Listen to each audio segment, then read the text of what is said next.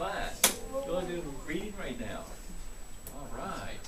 So can we switch to math for just a minute? We'll do a little bit of math. Who likes math? All right, good. So help me out. How old are you? Six. Five, Seven. six, seven? Well, let's see. Now, what what year is it? Do you know what year it is? 2010. 2010. So I write that this way, right? Two zero one zero, right? Yeah. Is that right? That look right? Well, you just didn't form your two properly. Oh. So. Oh, yeah. Don't, my penmanship is awful. I, you got to do better than I did on penmanship, all right? I'm really bad. I didn't do the two right, did I?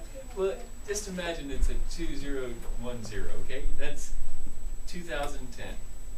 I should get somebody else to come up here and write it. You want to write it? Will you write it for me the right way? Will you write 2010 up there the right way?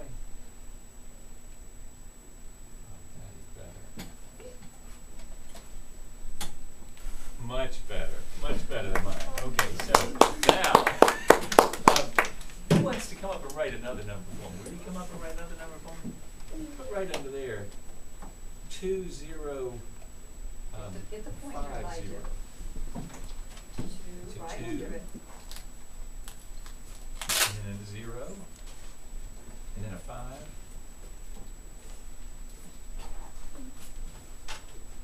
And a zero. You know what I just figured out? I should have done this the other way around.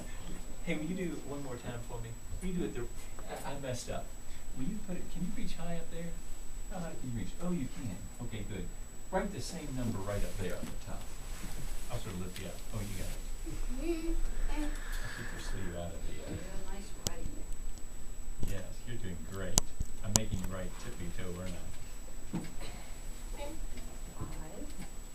Five, who does it right? And a zero. Perfect. Now, you all ready to do some big math? Watch this. You can sit down, Elijah. Now watch this, Elijah. We're gonna put a minus sign over there, right? I haven't been there yet, Bob. This is a little bit of a tough thing, okay? This, you know what it ends up being? Forty years. From two thousand and fifty Elijah. to today, Elijah. Okay, so from 2050, I'm gonna, I'm gonna go talk to uh, Channel 4 about this 2050 thing. From today is 40 years, right? So now, how old are you again? How old are you? Five? And you're Six. six? Five. Five? How old are you? Six. Let's pick six, all right? Let's say you're six in 2010, No. right? This is this year, and some of you are five, some of you are seven, some, most of you are six, I take it. Okay, so if you add the same number, forty uh, years to this, right?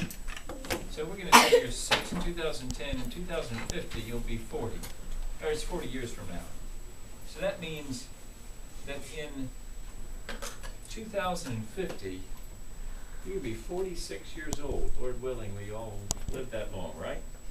So 46. What do you think you're doing at 46? You gotta, uh, how old's your mother? Oh, wait a minute, don't answer, don't answer that, don't strike that, strike that. how, how old's your dad? He wouldn't mind me asking how old he is.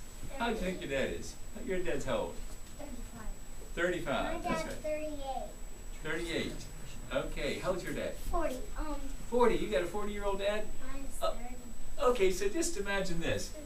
It's right now 2010. I'm going to go back in the back where you're talking about 2050 and some numbers for the federal government, right? That's 40 years from now. You're six years old right now. 40 years from now, you're going to be 46 years old. You'll have your own Elijah at Hampton Park. Won't that be amazing? You'll have your own uh, son or daughter, maybe, at Hampton Park. And so you'll be 46 when all what I'm talking about in the back of the room is happening. That seems like a long time from now, doesn't it? But we gotta figure out how to make sure that, uh, your future at forty-six is as good as your forty-year-old dad's has been. So, uh, that's what I'm gonna go talk about back here in the back.